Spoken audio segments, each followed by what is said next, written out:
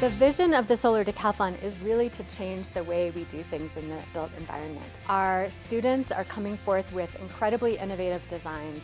They're coming forth with new ideas, new technologies, and these are exactly the kinds of things that we need to address the climate challenge before us.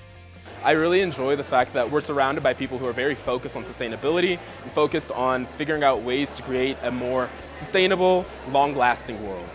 I find this competition to be very inspiring. The information that is transferred from, from person to person, student to student, professional to student, in all avenues is, is really exciting.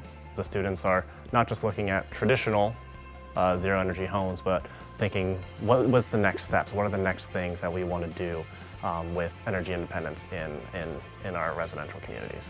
It's been an extremely heartwarming and inspirational learning experience. It helped me to build a lot of leadership skills, confidence, and just overall empathy of others. This has been the highlight of my semester. I think y'all. Everybody. Yeah. I plan to use everything that I've learned here to get a great job and do what I love, which is investing more in sustainability.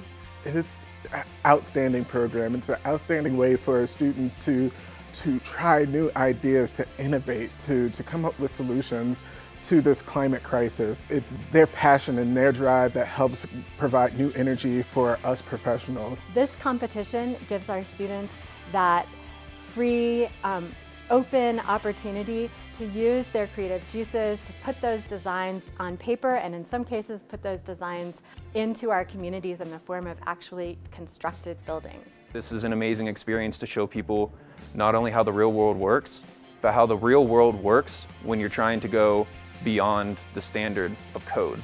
It was more than a class, um, real world application, and then the experience has just been absolutely eye-opening for all of us.